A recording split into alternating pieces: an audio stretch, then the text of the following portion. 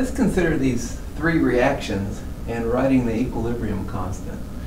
So the equilibrium constant is strictly defined in terms of pressures, but we extended that to concentrations. And we can extend the equilibrium constant for a mixture of solids, liquids, and gases. Now, this first reaction, we have carbon solid, carbon dioxide in the gas phase, and carbon monoxide in the gas phase. So how do we treat solids? Well, if you have a solid and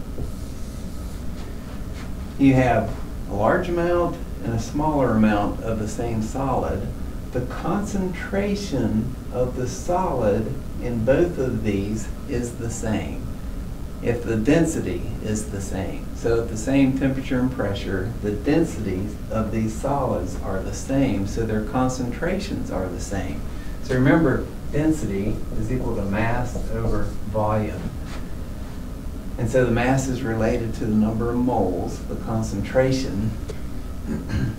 concentration is moles over volume, and moles is mass over molecular weight. And so the density is directly related to the concentration. Molecular weight for the same solid species is the same. So the concentrations stay the same even though the amounts differ. So even though carbon is reacting, its concentration doesn't change even though the amount is decreasing during the reaction.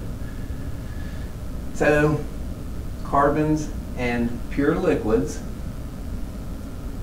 the concentrations are the same because their densities are the same. So we don't include those in the equilibrium constant since it's just a constant. So we would neglect the solid here for carbon dioxide. So the equilibrium constant for this reaction, I'll write it in terms of concentration, is equal to the concentration of the product, carbon monoxide, squared, divided by the concentration of carbon dioxide reactant to the first power, and I would leave out the solid. Let's consider this second reaction. I have two solids and one gas.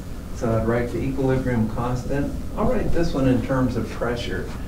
So we would neglect or leave out the solids in the reaction and not include those in the equilibrium constant. So we only have one gas species. So the equilibrium constant will be the pressure of CO2 raised to the first power. So that's all there is for the equilibrium constant. This is the only product we would include because we're not going to include the solids. Now, let's look at this bottom reaction. This is in solution. We have gas phase, liquid, and dissolved in solution species. So let's write the equilibrium constant in terms of concentration.